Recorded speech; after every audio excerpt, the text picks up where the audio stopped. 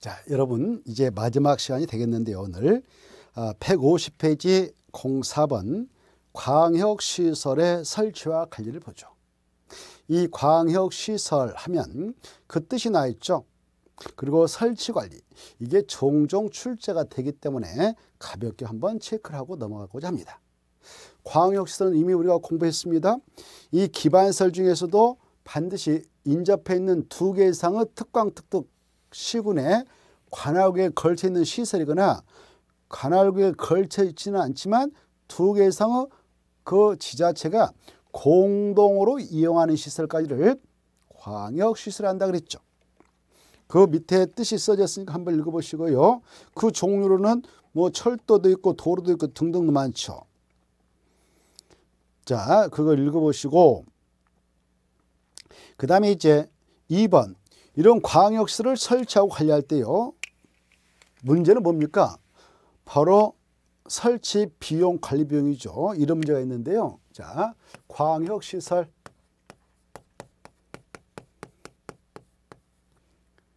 자, 의의를 보았죠? 의 광역시 뭐냐? 이렇게 인접해 있는 A씨가 있다, B군이 있다, C군이 있다 그러면은 바로 둘 이상의 지방 자치단체에 걸치게 되는 도로라든가 이렇게 도로 이렇게 걸쳐서 설치한다. 도로.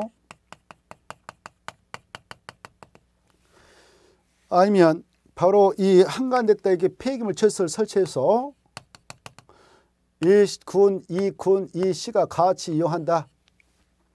여기다 장사실 하나 설치해서 같이 이용한다.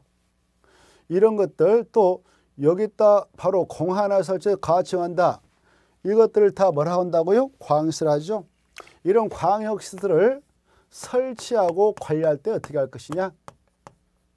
설치 관리할 때 도문제가 있는데 원칙은 이것도 바로 도시군객 시설 설치에 따라 처리하면 돼요. 그래서 도시군가로 결정하고 결정하고 그렇지 않은 것은 그냥 해도 된다 이건데요. 원칙은 원칙은 바로 도시 군 계획 시설 설치 관리에 의해 따라 처리하면 됩니다. 근데 이거 가지고 공동구 설치 관리 규정에 따른다 이렇게 나왔어. 틀려요. 공도가 아니라 도시 군객수로 설치 관리에 따라 처리하면 돼요. 그러나 외제가 있어요. 외해적으로 이런 공동으로 설치하게 될 때 이 시장 군수 군수가 만나 가지고요 관계 그 기관장님 만들어서 야 우리 공동구 이쪽 설치 비용 관리면 너네가 내고 이쪽 우리가 내고 네가 내라 해서 이네들이 만나가지고요 협약을 체결할 수 있고 협의를 구성해서 이 광시를 설치 관리할 수도 있어요. 여기에서 마지막에 할 수 있다 여기다 체크해요. 하이한다 의무상이 아니고 할 수 있다. 할 수 있기 때문에 예산이 없으면 나 빠지겠습니다 해도 할 말 없는 거죠. 임의적이니까. 그런데 이 장소와 협약이 협의가 구성되지 않아서 무산됐다 그러면 어떻게 하냐. 이 저기 같은 도다 그러면 도의사가 또 도의상 가지고 처리할 수도 있으니까요. 도의사가 자기 관할국이면 이것을 설치 관리할 수 있다.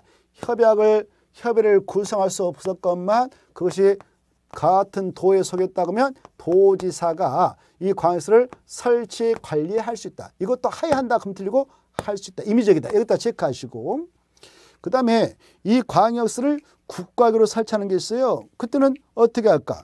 예컨대 인천 국제공항을 만들어서 지금 운영하고 있는데 이런 것들을 국가기로 설치하는 광역시라고 그래요. 이런 국가기로 설치하는 광역시라고 하는 것은 그것을 사업종으로 하는 인천 국제공항 관리 공단 이런 공단을 법인이라 하거든요. 공법인 이런 법인을 설립해 가지고 그 자를 내세워서 그런 광역시를 설치 관리할 수도 있다는 겁니다. 거기까지가 바로 디귿이에요. 디귿 보면 마지막 법인 국가기로 설치하는 광역시는 그따 수 것이고 마지막 법인 설치할 수 있다. 기업 할 수 있다. 니은 할 수 있다. 이런 것들을 체크하면 끝이네요. 3번에 이런 겁니다. 뭐 3번 아까 이렇게 광역시를 설치하게 되는 경우요. 어, 여기 폐기물 처리 폐기물 처리 및 재활용시를 여기다 설치했다. 장사시를 여기다 설치했다. 그럼 어때요? 이것들은 나름대로 지역 주민들이 좀 봤을 때 별로 안 좋게 생각하죠. 환경 문제도 있고 혐오감을 주니까 말이죠. 그러나 어쩔 수 없이 이건 설치해서 우리가 같이 이용할 수밖에 없는데 이렇게 좀 혐오 시대라고 생각되는 것을 이군했다. 이군했다 설치해서 A, C, B군, C군이 같이 이용했다. 이렇게 그러면 이쪽에게 바로 마음을 달래주게 한 여러 가지 지원 사업을 하거나 그에 따른 자금을 줘서 환경 오염의 대책을 세워 나갑니다. 그 내용인데요. 가로 3 볼까요? 지방자치단체는 환경오염이 심하게 발생하거나 또 그 현저히 그 개발을 유치할 우려가 있는 광역시를 다른 지방자치단체 관할구역에 설치할 때는 바로 다음과 같이 환경오염 방지라는 사업을 또는 해당 지역 주민의 편익 증진을 위한 사업을 그 해당 지방자치단체와 함께 시행하거나 그에 필요한 자금을 그 지자체에 지원을 해줘라 이렇게 되죠. 그 정도 보십시오. 그냥 흐름만 받으시고요. 넘어가겠습니다. 자, 그 다음에 152페이지가 나온대요. 152페이지. 이제 도시 군객 시설 사업 시행 나있죠 어, 거기 도시 군객 시설 사업 뜻을 써놨는데 가로 1번 이것은 용어청에서 보았습니다만은 다시 한번 음미를 해 두실 필요가 있어요. 도시 군객 시설 사업 뜻이 뭐냐 그러면 어, 도시 군객 시설을 도시 군객시설을 거기다 체크해. 무엇을 설치 정비 또는 개량 사업인가 이거.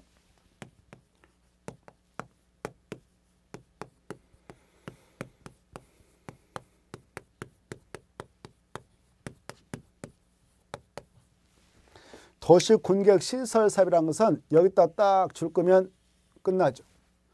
이 도시 군객 사업은 이것을 이게 뭐예요? 도시 군객설이죠. 그래 도시 군객 시설 사업이란 도시 군객 시설을 이것을 이것을 이것을 설치 정비 또는 개량 사업이다 이거죠. 이게 뭐다고요? 이게 중요한데 이 자리에 무슨 공공시를 광역시를 기반시를 하면 틀려요. 정확하게 무엇을 설치 정비 또는 개량 사업인가? 도시 군객사 꼭 알아주십시오.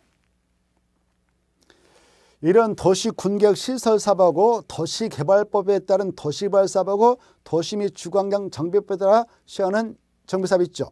이 세 가지 사업은 도시 공간을 통해서 시행하니까 이걸 도시 군객 사업을 한다. 2번까지 받으시고 2번도 작년쯤 함지 나왔어요.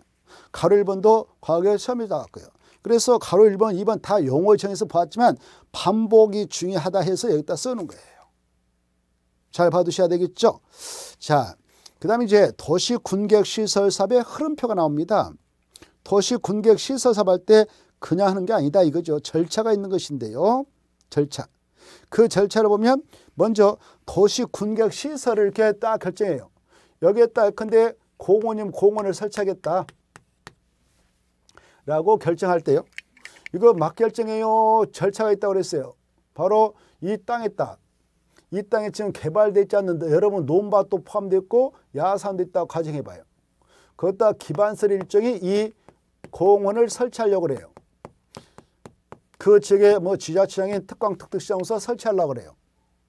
그때는 미리 이 기반설의 설치를 위해서 계획을 만들죠. 그 계획이 무슨 계획이다고요? 도시 군관리라고 했죠. 관리계. 이걸 맡는다 입안이라고 했죠. 아까 했습니다. 전 시간에. 도시 군가로 입안해가지고 여기다 공원을 만들겠다 설치하겠다로 딱 결정하죠. 이렇게 도시 군가로 결정된 이 시설을 뭐라고 한다고요? 도시 군객 시설 하잖아요. 이렇게 이제 결정 고시 했어요. 결정 고시 하게 되면 그 안에 편입된 토지 소자들은 이 안에서 이제 건축물 건축, 공장을 설치 허가 받아가지 못합니다. 그 허가 받아가지고 건축해라. 공장을 설치해라. 다음에 공원 조성사업 할때 우리가 다시 다 부시고 공원 만들 때 보상 주겠다.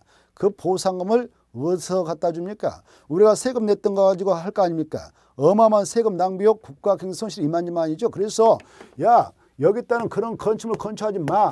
공장 설치 마. 이렇게 하기 위해서 미리 구속력 있는 도시공가로 딱 결정고시하죠. 결정 고시했습니다. 근데 그게 논밭입니다. 야산입니다. 주로 개발되지 않는 땅에다 해야 되겠죠. 그래야 다음에 보상금이 적게 나가지 않겠습니까? 땅값만 주면 되니까요. 그런데 때로는 원주민들 살고 있는 집까지 포함될 수도 있겠죠. 어찌다 하나씩. 그러면 또 그것도 보상을 해주게 됩니다. 자, 이렇게 결정고시했다. 오늘 결정고시했다 합시다. 이런 절차 거쳐서 딱 결정고시했어 이렇게. 고시가 되면은 이 안에 편입된 땅 주인들은 소유권을 박탈하지는 않습니다. 그냥 논바 야삼이 그대로 종료가 똑같이 농사지고 나무시면서 이용하면 되는 것이죠. 무엇을 못하느냐? 건축물 건축, 공립을 설치를 못하는 것입니다. 그러면 이분들은 어떻게 되느냐? 다음에 이제 여기서 사업이 바로 시행된다. 사업 시행이라는 것은 공사해가지고 공업 만든 것이거든요. 그때 사업을 시행하려면 사업을 하는 그 지자체가 있다. 그러면 지자체에서는 두 가지 돈을 준비해야 되죠. 땅값을 다 보상해서 소유권을 넘겨받아야 되지 않습니까? 그런 보상금 하나가 필요하고 그다음에 이제 땅값 다 주고 소유권 넘겨받았다 해서 공업 만들어진 거 아니죠. 이제 또 포크업자, 적용업자 동원해서 공사 쫙 해가지고 화장실도 만들고 해서 딱 사업을 진행해야 끝나는 거 아닙니까? 이러할 때 그걸 공사배양을 하죠. 사업 지원을 하는 겁니다. 이 두 가지 돈이 있어야 이 사업을 하는데요. 결정료로 이 돈은 우리가 냈던 세금 가지고 예산 편성하는데 이 예산이라는 여러 가지 분배 쓰죠. 노인복지 예산, 뭐 교육 예산 어마어마한 돈을 쓰잖아요. 교통 예산 등등. 그래서 예산이 좀 없으면 이거 사업을 하자고 멍 때리고 방치하는 경우가 많습니다. 멍 때리고 많죠. 그렇지만 이 안에 편집된 땅 주인들에게는 알려줘야 할 거 아니에요. 언제 사업을 할 예정입니다. 라고 예고성이 있는 그런 계획을 만들어서 알려줘야 되지 않겠습니까? 그런 취지에서 만들어서 보여주고 있고 그 계획에 맞게 단계로 사업을 집행해 나가고 있는데요. 그 계획을 단계별 집행계를 한다 이렇게 하시면 돼요. 그 계획을 153페이지를 보면 단계별 집행이 나오는데요. 그 단계별 집행계획은 152페이지를 어, 보시면서 보시어요. 표를 보면 단계별 집행계획을 만들게 돼요. 그 계획은 이렇게 결정을 해놓고요. 이렇게 도시군가로 딱 결정을 해놓고 결정을 해놓고요. 늦어도 3개월 이내에 이렇게 됩니까? 2개월입니까? 이렇게. 거기 보시면 거기 나와 있죠. 3개월 이내 해라 이렇게 돼요. 3개월. 3개월 이내 이 단계별 집행계획을 수립해서 보여주라 이렇게 하고 있어. 3개월 이내. 3개월 이내. 빨리빨리 해주라 이렇게 돼 있죠. 3개월 이내 해라 이렇게 돼 있죠. 자, 그런데 이 단계별 집행을 수립할 때 국토교통부장 시도사 시장서 수립합니다. 수립할 때는 재원 조달하고 보상을 포함해서 수립해요. 이 단계별 집행을 수립할 때는 1단계 집행계하고 2단계 집행으로 구분해서 수립하는데 1단계 집행계, 이 단계별 집행을 수립할 때게요.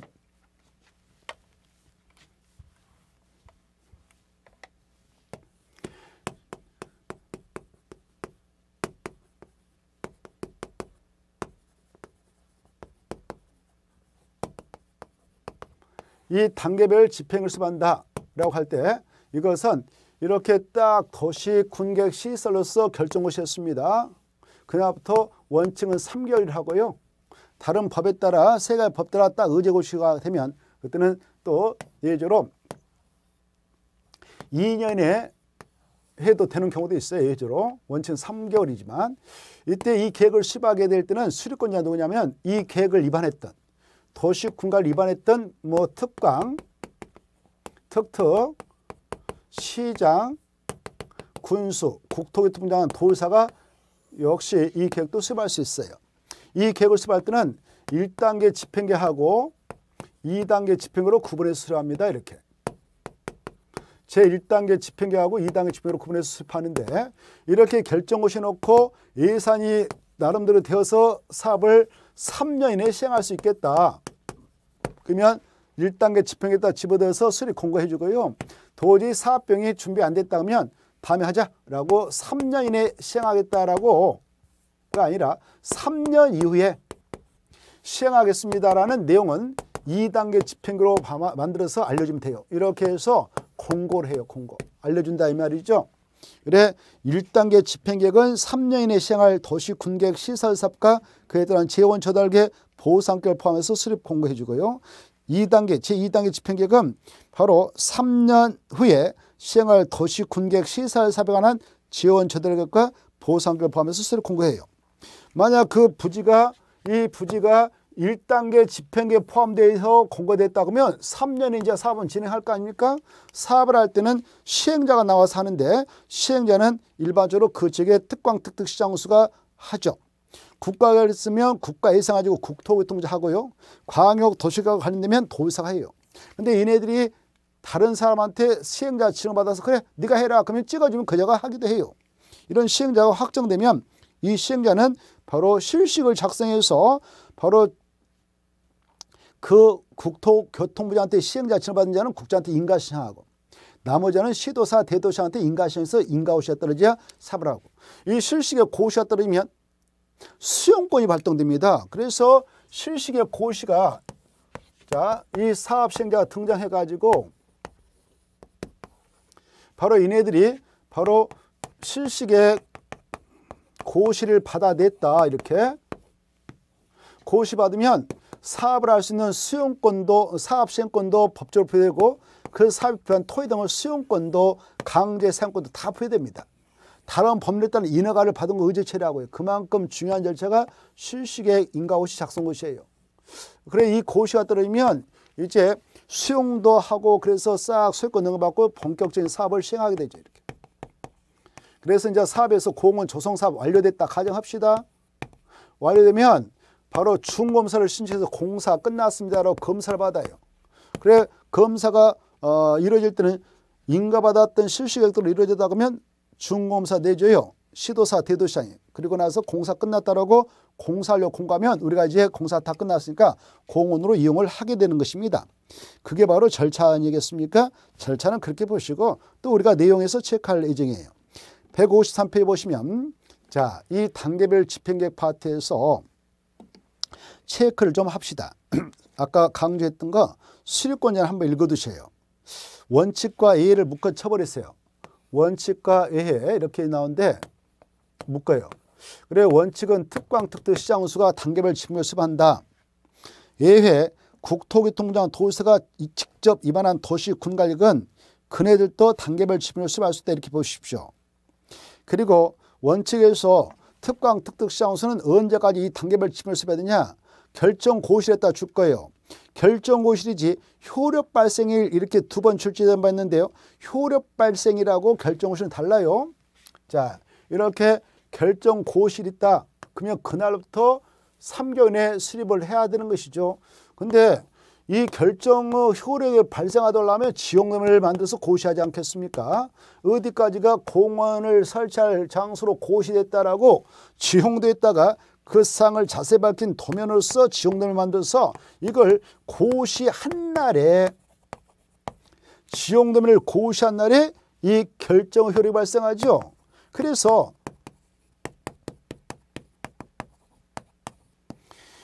이 도시 군갈계 결정고시라고 효력 발생하는 시간상 이게 더 빠른 개념입니다. 그래서 결정고시부터 빨리빨리 3개월에 만들어서 나가라 이렇게 하고 있죠. 효력 발생일 기준에서 3년이 3개월이 아니다. 이걸 꼭 알아주십시오. 3개월 이내 무엇 포함해서 이 단계별 집행을 수반하냐? 재원 조달계 보상 계획을 포함하는 단계별 집행을 수배라. 다만 다른 법률에 따라 줄 거예요. 다른 법률은 밑에 박스 안에 도시 및 주거환경 정비법, 도시 재정비 촉진 특별법, 도시 재생 활성화 지원 특별법 있죠? 이 법에 따라 이런 시설 비용가 의제에 대해서 확정됐단 말이에요. 그런 법률에 따라 도시 군 관리 결정이 의지돼 가지고 이 시설건으로서 결정을 했다면 그때는 2년에 따라 줄 거예요. 2년에 단계별 집행을 수행할 수 있다. 원칙은 몇 개월에 수행하는데 3개월. 그런데 예외로 몇 년? 2년 이렇게 좀 보시고요. 2번 이 수립하고자 하는 이 특광 특특 시장소 수립할 때에 미리 관계 행정기관의 장인 도로관리청장, 도로면 도로, 공원이면 공원관리청 이네들을 관계 행정기관의 장입니다. 그래서 이게 도로면 공원이면 공원관리청장하고 바로 미리 협의를 해서 단계별 지분을 짜는 거죠. 이게 도로권이다 그러면 도로관리청장하고 미리 협의해요. 그리고 이걸 짜죠. 짤 때는 반드시 지방 유해의 지방의회의 의견을 들어야 돼요. 결국 이거 설치하게 될땐 지방 예산이 많이 들어가지 않겠습니까? 지방 예산의 그 심의기구가 바로 이 지방의가 있죠. 그래서 지방의회 의견도 꼭 들어야 된다. 받으십시오. 그 다음에 이 단계별 집행계획을 이렇게 수립을 했다. 단계별 집행을 수립했어요. 그리고 나서 공고를 하는데 이때 공고는 불특정 다수니 다 알게끔 알려주는 그런 절차가 공고죠. 근데 이 공고라고 하는 거 있지 않습니까? 공고라는 것은 여기 보십시오. 이 특광 특특 시장소가 자기들 지역에서 단계별 집행을 수립해 가지고 자기들이 수립해서 공고할 때는 자기들이 직접 공고해요. 어디다 공고냐? 지자체에서 발행하는 공보라는 게 있어요. 공보. 서울특별시에서 발행하는 서울특별시보. 인천광시에서 발행하는 인천광시보. 이런 것들을 공보라고 그래요. 이런 공보에다 계속 공고를 해요. 공고를 합니다. 공고를 합니다. 그런데 말입니다. 여기 국토교통부장이라든가 도의사가 단계별 집행을 수립하는 경우도 있죠. 그때 수립은 자기들이 하는데 공고는 자기들이 하지 않고 그 부지가 이 부지가 서울특별시에 있었다 그러면 서울특별시한 송부를 해줘요. 뭐 광역시다 인천 부산 대구 울산 대전 강정시다 그러면 거기에 송부를 해주는 겁니다. 세종시면 세종특별시장 제주특별자도사 모 시면 시장 군이면 군수한테 송부를 해줘. 이 도사도 자기가 단계별 집행을 수립해서 수립했던 지역이 시면 시장 군이면 군수한테 송부를 해주면 이네들이 받아서 공고를 한다 이렇게 하셔. 공고는 바로 특광 특특 시장소 하는 것이다 이렇게 흐름을 봐두시면 좋겠습니다. 동그라미 1번 나와 있죠. 1번의 내용 바로 공고는 특강 특특 시장소 한다 이렇게 받으십시오. 그 동그라미 3번 위에 보면 예해서 국토교통부 장관 도의사가 직접 위반한 도시 군관리의 경우 국토교통부 장관 도의사는 단계별 집행을 수립하여 해당 특광 특특시장소에 송부할 수 있다 이랬죠. 송부를 받았던 특광 특특시장소 공고를 하는 겁니다. 넘어가시고 2번 이 단계별 집행계획의 구분이 나와 있죠. 이 단계별 집행계획을 구분한다 아까 했던 내용인데 다시 한번 체크해 볼까요? 1번 단계별 집행계획은 몇 단계 몇 단계로 구분하는가? 1단계 2, 2단계, 3단계부터 1단계와 2단계를 구분하는 기준은 3년이 되겠다. 3년 이내에 시행할 도시 군계획 시설 사업을 포함해서 만든 것이 1단계 집행기고 2단계 집행기는 3년 후에 시행할 도시 군계획 시설 사업을 포함해서 만든 계획이다. 이 정도를 구분하시면 되겠죠. 이때 이 단계별 집행을 수립할 당시에 오, 저 사업을 할 만한 예산이 없어. 그래서 3년 후에 그 사업을 합니다. 라고 2단계 집행기다 집어넣어서 수입해서 알려줬어요. 그래 그 부산에 있는 땅수 오, 3년 후에 하겠다라고 알았어. 이렇게 하고 있었는데 갑자기 그 지방 자산체에 새로운 공단이 막 들어가지고 엄청난 지방세가 막 돌아요. 그럴 수도 있잖아요. 그러면 이 2단계 집행계획에 들어있는 3년이 하겠다라는 그 사업권이라도 예산이 막 팍팍 들어왔으니까 그 사업할 수 있겠죠. 공원 조성 사업할 수도 있는 것이고 도로권이면 도로 설치 사업을 해줄 수 있지 않겠습니까? 그런 점을 감안하여 우리 법에서는 야 특광 특특 시장수 너네들 너네들 지역에 있는 이 단계별 집행계획 두 가지 중 2단계 집행계획 건은 매년 검토해라. 매년 검토해 가지고 비록 3년에 하겠다라고 하고 있지만 매년 검토해서 3년 이내에 시행할 사업이 있다면 그걸 선정해 가지고 올 1단계로 끌어올 수가 있다. 그래서 3년 해도 된다. 이렇게 하고 있습니다. 그러나 1단계 집행계획에 들어있는 사건을 바로 뒤로 빼내 가지고 2단계로 집어넣을 수는 없다. 그러면 이건 신뢰 보원칙 3년에 사업할게요 라고 공고해서 알려줬는데 바로 뒤로 빼 가지고 3년 해야겠다 그러면 이건 행정행위에 대한 신뢰 보원칙을 중당에 침한 것으로서 법조로 인정되지 않습니다. 그러나 3년 후에 하겠다라고 했던 것을 3년 안으로 끌고 와서 사하면 이건 신뢰 보원칙을 위반한 거 아니에요. 더 좋은 것이죠. 그래서 그 어, 내용을 잘 이해해서 바로 정리해 두시 바랍니다. 어, 특광 특특시장소란 지자체장은 자기 지역에 1단계, 2단계 집행이 있는데 매년 몇 단계 집행을 포함해서 어, 검토해서 1단계다 집어들 수 있다고요? 바로 2단계를 매년 검토하고 3년에 시행할 수 있는 사업을 선정해서 1단계다 집어들 수 있다. 이거 받으세요. 동그라미 1번, 2번을 정리했습니다. 간단하죠? 자, 여러분들은 여기까지 좀 잘 받으시고 그 다음에 이 도시 군객 시설 사업을 진행해 나갈 때는 이제 154쪽부터 시작해서 168쪽 168쪽, 9쪽까지가 이 도시 군객 시설 사업과 관련된 절차예요. 여러분은 그까지 쭉 연결해서 공부를 해 두셔야 되겠죠.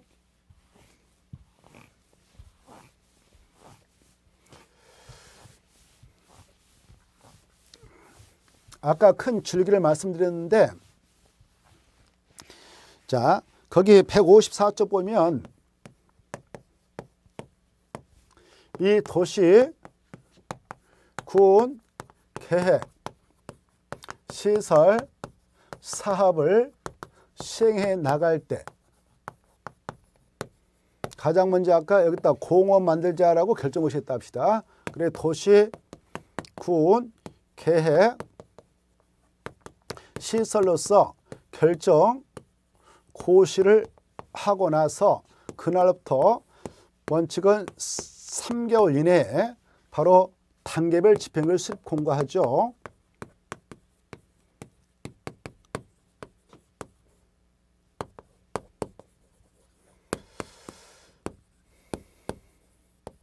그리고 외적으로 세 가지 법, 아까 도시 정비법, 도시 또 재정비 촉진법, 도시 재생 활성화 및 지원하는 특별법 세 가지 있었죠. 그 법에 따라 의제된 건이면 바로 2인에 수립을 할 수 있다고 그랬죠. 그래 이제 단계별 집행을 수립할 때 아까 1단계, 2단계로 구분해서 수립한다고 그랬죠.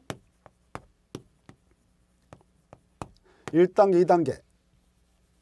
이때 1단계는 3년 이내에 시행할 사업.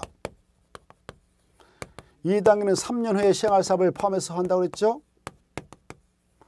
자, 이때 그 건이 1단계 집행계획에 포함돼서 사업을 하게끔 돼 있다. 3년에. 그럼 이제 사업을 할 때는 시행자 나와야 되겠죠. 이 시행자가 사업비용을 부담하는 주체세례 되어 있습니다. 그래 이 시행자는 누가 되느냐?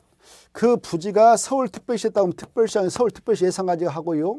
광역시는 광역시장, 세종특별자치장, 제주도는 특별자도사, 시에서는 시장이, 군에서는 군수가 시행자 돼서 사업하는 겁니다. 그런데 이 건이 이렇게 두 개 이상의 지자체에 걸쳐 있는 건이다 그러면 관계 지자체의 협의해서 시행자를 정해요. 만약 협의가 이루지 않았다 그러면은 그 지역에 같은 도면 도의사가 네가 해, 네가 해. 그러면 찍어준 자가 시행자 되고요. 그 지역에 같은 도가 아니라 바로 두 개 이상의 큰 지자체에 걸쳤다 그때는 국토교통부장 네가 해 찍어주면 그 자가 시행자 됩니다. 그리고 저 사건이 국가계획과 관이 있다 면 국토교통부 장관이 국가 예산 가지고 하는 것이고요. 국가계획과 관련된 것은 알아주시고. 만약 그 건이 바로 광역 도시계획과 관련됐다 그러면 도시사가 도예산 가지고 사업을 한다 이렇게 하십시오. 이네들 자 특광 특특 시장수 국토교통부 도사 이네들 다 행정청이라 합니다. 행정청의 시행자가 나와서 하는 것이 일반적이죠. 그런데 얘네들이 사업을 하게 될 때 우리가 냈던 세금 가지고 하지 않겠습니까? 우리 세금 예산 편성에서 여러 가지 데서 썼는데 이런 사업비용을 다 써버리면 다른 데 쓸 데가 없을 수가 있어요. 그래서 이런 행정청의 앉아가 내가 한번 그 사업을 할 테니까 나에게 사업을 할 수 있는 기회를 주세요라고 신청을 할 수가 있습니다. 그러면 예산을 절감할 수 서로가 좋은 것이죠. 그래 네가 서울특별시 2순환도 아니면 3순환을 네가 뚫어가지고 50년 동안 그 통행료를 받아먹고 우리한테 시한테 그 기부 참할래? 그렇게 하자 해서 나름 약정 맺어가지고 시행자로서 그 자를 시행자권을 줄 수가 있어요. 그랬을 때 이 사업 시행자 지정을 이렇게 하려고 한다. 순수 민간이 할 때는요. 막 하는 거 아니고 이 사업 대상 토지가 있었다 그러면 이거 3분의 2 이상을 자기가 소유권을 확보해야 돼요. 그리고 이 나머지 땅에 대한 그 2분의 1 이상에 해당하는 토지 소재의 동의서를 받아서 내야 시행자치를 받습니다. 이런 면적을 계산할 때는 이 안에 국공이 있다면 국공이 빼고 사유를 바탕으로 사는 것인데요. 이때 이런 요건 맞춰가지고 시행자층을 신청해서 받았어. 받아가지고 시행자가 됐어요. 시행자 돼서 실시계획을 작성해서 고시까지 받았어요. 인가고시. 그러면 이자에게도 수용권이 발동되어서 그 사업에 필요한 토지 등을 다 수용할 수 있다는 거. 당연히 행정청의 시행자는 다 수용할 수 있습니다. 그래 이때 시행자 지정을 신청하고자 한 자가 국지공이 아니다. 그럴 때만 면적의 3분의 이상에 해당하는 토지를 소유하고 토지 소유자 총수의 2분의 3을 돈을 받고요. 만약 시행자 지정을 신청할 자가 국지공이다. 국가다 뭐 지방 자치단체다. 지방공사다. 지방단이다. 한국토지동사다. 그럴 때 이네들은 아까 그런 동의서 필요 없이 시행자 지정을 신청해서 시행자 받아가지고 사업을 있다는 거. 이게 중요한데요. 그것만 체크하고 마치도록 하겠습니다. 154페이지 행정청이 시행자 가로 1번, 2번 꼭 읽어두시고 오른쪽에 행정청이 안 시행자에서 가로 1번 행정청이 시행자가 될 수 있는 자의 국장, 시도사, 시장수로부터 시행자 지정을 받아 사업을 시행할 수 있는데 밑으로 내가셔서 가로 2번을 건너뛰어서 민간 시행자와 시행자 칭을 받으려면 바로 어떤 효과가 갖춰야 되냐?